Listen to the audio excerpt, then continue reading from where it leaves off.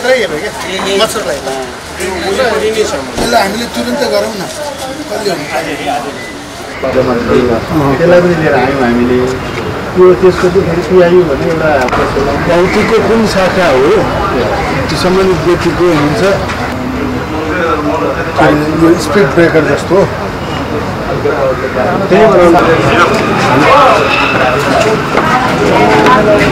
विगतका वर्षहरूलाई हेर्दा यो वर्ष सङ्ख्यात्मक रूपमा चाहिँ डेङ्गुको सङ्ख्या कम देखिए पनि जोखिम भदौ र असोज महिनामा चाहिँ बढी हुने भएको हुनाले त्यसको सङ्ख्या बढ्न सक्ने चाहिँ मन्त्रालयले आकलन गरेको छ।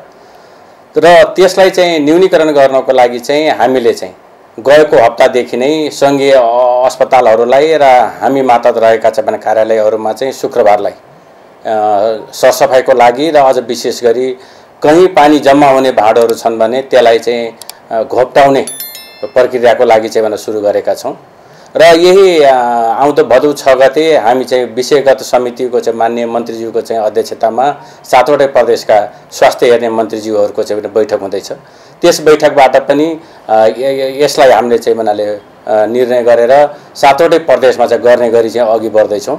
र हिजो मात्रै पनि काठमाडौँ उपत्यकाभित्र रहेका महानगर उपमहानगर र नगरपालिकाका प्रमुख र उपप्रमुखहरूसँग चाहिँ छलफल भएर सहकार्य गरेर समन्वय गरेर अघि बढ्ने गरी निर्णय भइसकेको छ। र त्योभन्दा ठुलो पाटो अब हामी बिस्तारै हरेक नेपालीलाई जो हामी सार्वभौम सत्ता नेपाली नागरिक भन्छौँ उहाँलाई पनि आफ्नो स्वास्थ्यप्रति सचेत भइदिनुहोस् भनेर आफ्नो घर घरमा पनि हरेक शुक्रबार चाहिँ हप्ताको एक दिन चाहिँ तपाईँले चाहिँ कमसेकम चाहिँ आधी घन्टादेखि आधी घन्टादेखि एक घन्टासम्म सरसफाइ अभियान चलाइदिनु भयो भने डेङ्गु मात्र होइन लामखुट्टेजन्य अन्य रोग र सरसफाइबाट उत्पन्न हुन सक्ने जुन चाहिँ हाम्रो फोहोरको कारणले गर्दा सङ्क्रमणहरू प्रदूषित भएर चाहिँ खानाहरूको कारणले हुने रोगहरू पनि रोक्न सकिने भावनाले हरेकलाई शुक्रबारको दिनलाई चाहिँ सरसफाइको दिन मानेर त्यही अनुसार चाहिँ गरिदिन हुन विभिन्न सरकारी निकाय निजी निकाय सहकारी निकाय र सार्वभौम सत्ता नेपाली नागरिकलाई पनि स्वास्थ्य तथा जनसङ्ख्या मन्त्रालय हार्दिक अनुरोध गर्दछ। गएको शुक्रबारदेखि हाम्रो चाहिँ भन्नाले सङ्घीय अस्पतालहरूमा र अस्पतालका आफ्ना चाहिँ कार्यक्षेत्र भित्रमा चाहिँ सरसफाइ अभियान चलिसकेको छ। र आज पनि हामीले चाहिँ भन्नाले स्वास्थ्य तथा जनसङ्ख्या मन्त्रालयमा सरसफाइ अभियान चलायौँ।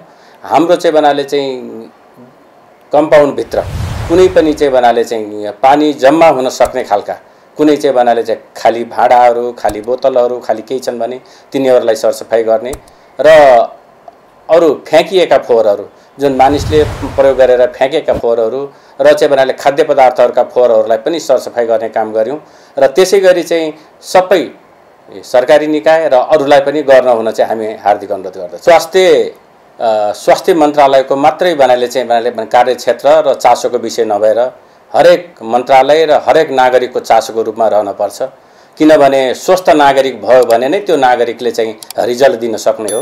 त्यस कारणले सङ्घीय मन्त्रालयहरू सबै प्रदेशका चाहिँ मुख्यमन्त्री कार्यालय र त्यही अनुसारका मन्त्रालयहरू र सात सय त्रिपन्नवटै स्थानीय तहका सरकारहरूलाई पनि हामीले चाहिँ सरसफाइमा हप्तामा कमसेकम एक दिन चाहिँ सरसफाइमा ध्यान दिन हार्दिक अनुरोध गर्छौँ। जसले गर्दा भोलिको पुस्ता निरोगी पुस्ता निरोगी नेपालको हामी चाहिँ जुन आह्वानमा जुटेका छौँ त्यसलाई चाहिँ यसले थप सहयोग पुर्याउने पनि हाम्रो चाहिँ विश्वास